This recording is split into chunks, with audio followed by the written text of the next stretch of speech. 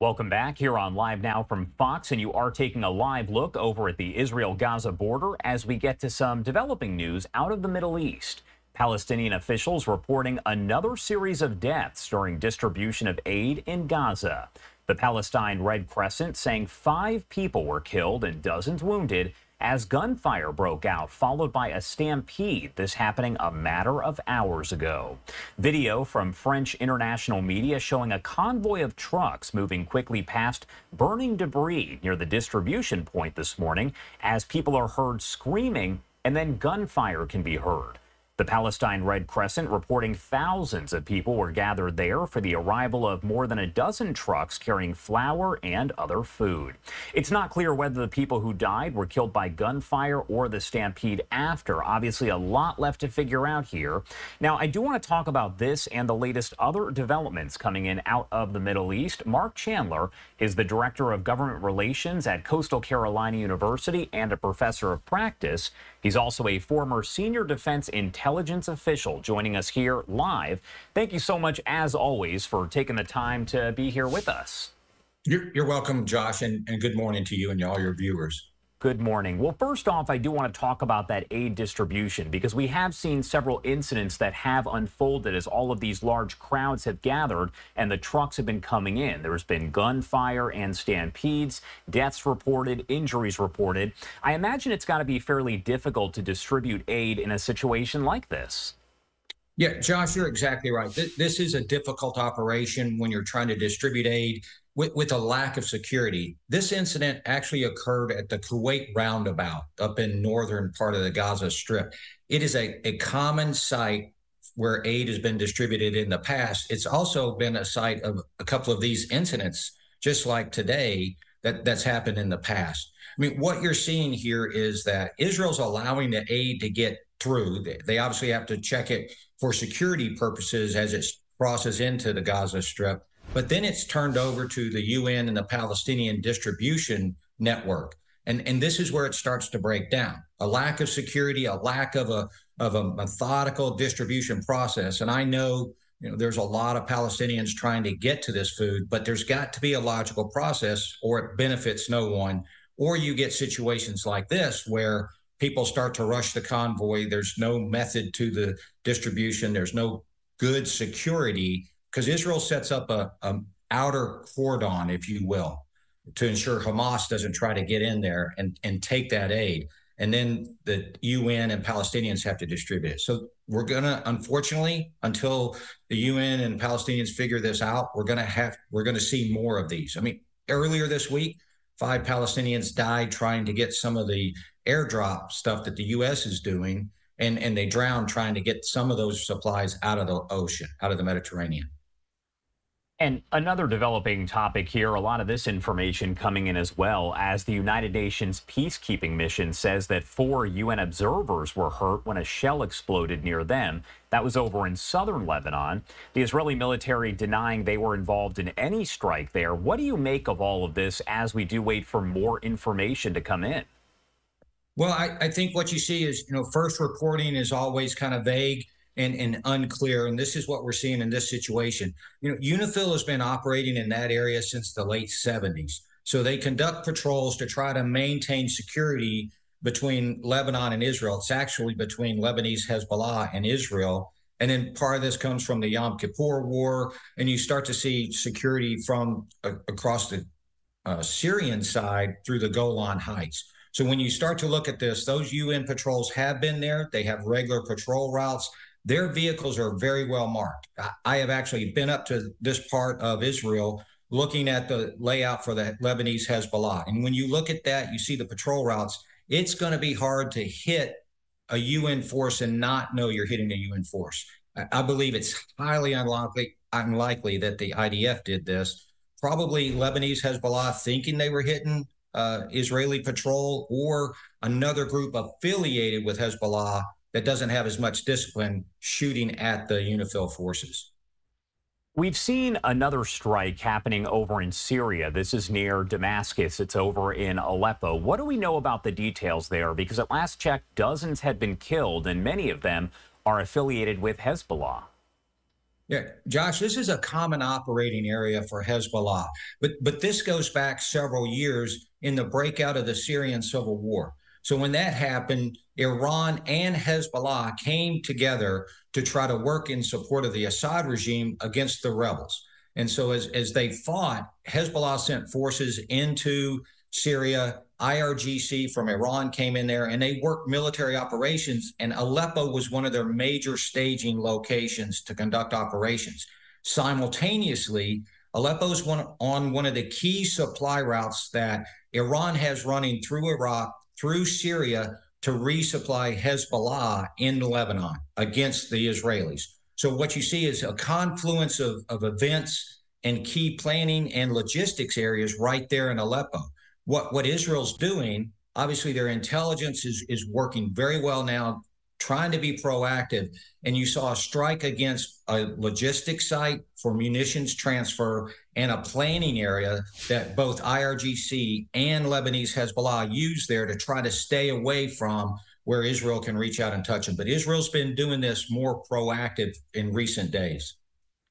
A question and a topic that you and I have discussed time and time again. Why has Israel not declared war against Hezbollah? Are we any closer to that actually happening? Could that happen? It, it absolutely could happen. And, and this is what we're looking at here is does Israel want to open a northern front? I, I think they have their hands full with Gaza, trying to maintain that. And, and Israel's fighting what we call in the military a holding action up north. So I'm trying to make sure that that the fighting up north doesn't reach a full open scale war. I know a lot of people interpret what's happening now as war, but this could be significantly worse. We could go back to 2006 where we had a 34 day war where significant destruction and death in southern Lebanon and in northern Israel. So you start to look at that. Israel doesn't want to open that. I think Hezbollah is is fine fighting the type of fight that they are. They are, you know, the death of a thousand cuts, if you will, to keep thousands and thousands of Israeli citizens from the north, focus Israeli forces up north to try to distract them from the fight down against Hamas. So I don't think either side wants to escalate it to this at this time. And what I've seen Israel do over the last three to four weeks now is be very proactive and trying to stop the planning that's taking place by Hezbollah with support of the IRGC. We could be close. A miscalculation at any time could escalate that. There were at least five significant Hezbollah, Lebanese Hezbollah strikes on northern Israel this week, and Israel's striking back each time trying to stop this from escalating. And the reason I always ask you that is because that's the question that I get the most on Twitter and via email is aren't they already at war? So I'm glad that you can provide some context and some clarity on that overall. I do want to talk a, a, little bit more about Hamas, though, because an interesting article was published just a couple days ago by the Jerusalem Post, where they essentially said that it appears that Israel had underestimated the number of fighters that Hamas does have. The number is actually a lot higher. Is that surprising in any way?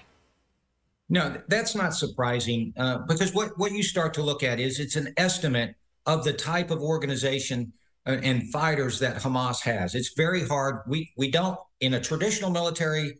We've got platoons, companies, battalions. We know our structure. We know our military structure in a traditional military sense. In a terrorist organization, it's very difficult to really determine the exact structure and number because they're not structured traditionally.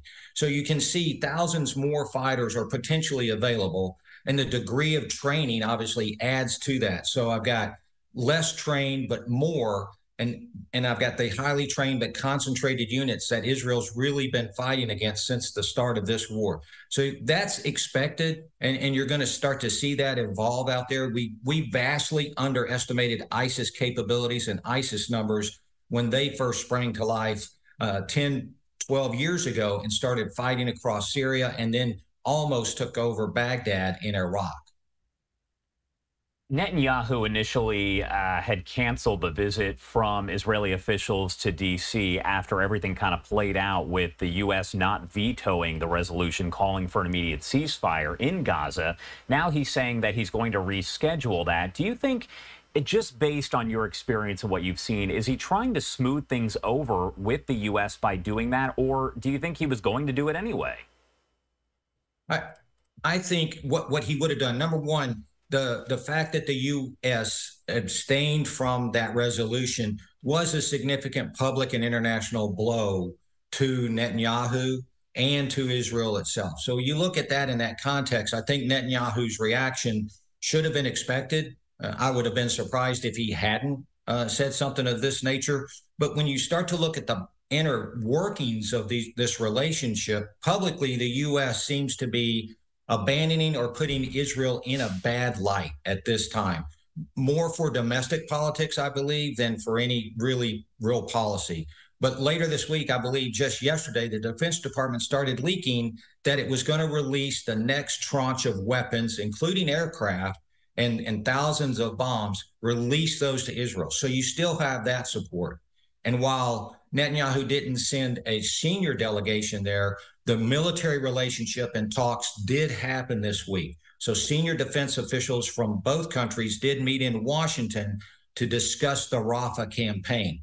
There's some not enough details that come out of that. I know the U.S. wants more information about how Israel is going to conduct Rafah. I don't know how much Israel will release. So you still have that relationship at work. I just think, you know, a little moral courage perhaps on the public side of this to really see where things are going to stand, especially since the UN didn't condemn Hamas in the original attack in this latest resolution. That was a significant blow to Israel. April 7th will mark six months since the October 7th attack by Hamas on Israel that essentially led to this all out war here. Did you think when that attack happened and war was declared, when you and I kind of first started talking about all of this, that six months later, this is where we would be? Well, Josh, I, I, I am a little bit surprised, but I went back and I actually uh, looked at uh, some of the conversations that you and I had. And that's one of the first questions you asked me. How long does this look to play out? And I said at that time, months. And, and in my mind, my months meant six to eight months. So we're approaching that six month point. But I look back at history and you see this is the longest war since 1948 that Israel has fought in a sustained manner. And when I say war, I am talking about a full full out combat operation that's going back and forth in this this manner. So we're at one of the longest fights that Israel's been in, not counting the intifadas, uh, the fighting in 2006 with Hezbollah. So we're looking at that now. You still see fighting taking place in Khan Yunis. Uh, you see at Al Shifa Hospital. That goes to the Jerusalem Post article of the number of fighters that are still available. But you have to still clear Rafah, and, and Hamas is really dug in there. So I think what you're starting to see is that when the operation in Rafah starts, that's at least a month of fighting, especially with Khan Yunis as an example and, and what happened up in northern Gaza Strip. So you've got at least, I would say, two more months of heavy fighting, but that won't end it, Josh. And, and here's the thing Israel's objective is to destroy Hamas. That's one of the things that we in the military don't like to hear politicians or policymakers set an example because destroy means kill all fighters and kill the ability for that enemy to fight back.